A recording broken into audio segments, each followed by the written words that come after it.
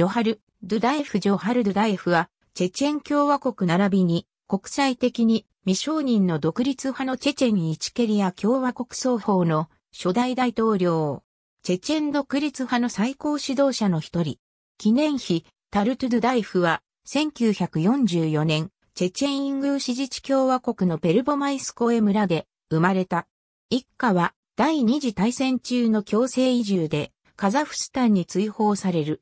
彼はエムラスコバヤ名称、タンボフ高等軍事航空学校を卒業し、ソ連空軍に勤務する。1968年、ソ連共産党に入党。1977年、ガガーリン名称空軍アカデミーを卒業し、チェチェン人としては初の師団長、空軍少将まで昇進した。最後の認知は、エストニアのタルトゥであった。エストニア語を学び、エストニア人のナショナリズムに寛大で、エストニアのテレビ局と議会の封鎖命令を拒否したことから、エストニア人からは反乱将軍と評された。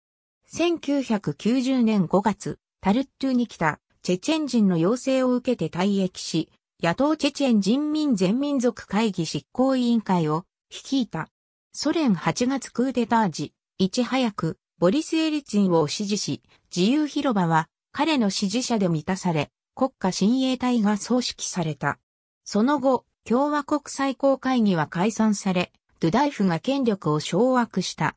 1990年11月に、チェチェンイングーシ自治共和国がソ連邦からの独立を宣言し、1991年5月にチェチェンイングーシ共和国に改名し、10月に共和国と連邦政府との間で共和国がチェチェン共和国とイングーシ共和国とに分立することに同意すると、同月30日に得票率85%でチェチェン共和国初代大統領に当選したばかりのジョハルドゥ・ダイフが翌11月に一方的にソ連からの独立とチェチェン・イチケリア共和国の建国を宣言した。ドゥダイフはグルジアとアルメニアの地震はロシアによる人工地震による攻撃であると主張している。